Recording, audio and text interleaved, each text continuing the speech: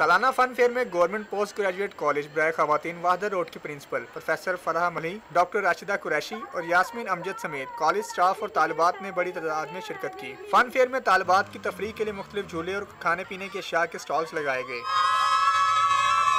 جبکہ ورائٹی شو کا بھی اہتمام کیا گیا۔ طالبات موقع کا فائدہ اٹھاتے ہوئے گلوکاری کا شوق بھی پورا کرتی رہیں۔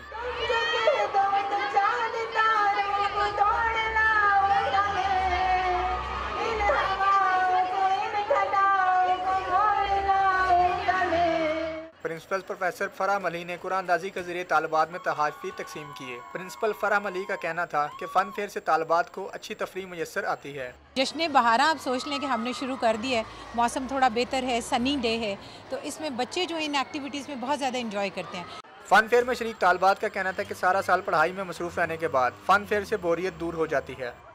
بہت اچھا لگ رہا ہے اور یہاں پہ مختلف شوز ہیں تو لڑکیوں کے لیے بہت اچھا موقع ہے انٹرٹینمنٹ کے لیے۔ فن فیئر میں آ کے ہمیں بہت زیادہ مزہ آیا ہے، یہاں پہ بہت زیادہ انجوائمنٹ ہو رہا ہے اور ہم جھولے وغیرہ بہت انجوائے کر رہے ہیں۔ جو فن فیئر پہ ہمیں کافی زیادہ مزہ آ رہا ہے، اس طرح کے ایونٹ کالجز میں ہونے چاہیے، کافی زیادہ جھولے اور ورائٹی شو وغیرہ کافی زیادہ میں انجوائے کر رہی ہوں۔ مجھے آج فن فیئر کا بہت مزہ آ رہا تعلیمی اداروں میں نصابی سرگرمیوں کے ساتھ، غیر نصابی سرگرمیاں بھی بہت اہم ہیں، جن کے انتقاد سے طالبات پر پڑھائی کا بوجھ کم ہوتا ہے۔ کیمرہ مین مبشر جاوید کے ساتھ Rehan Gul city forty two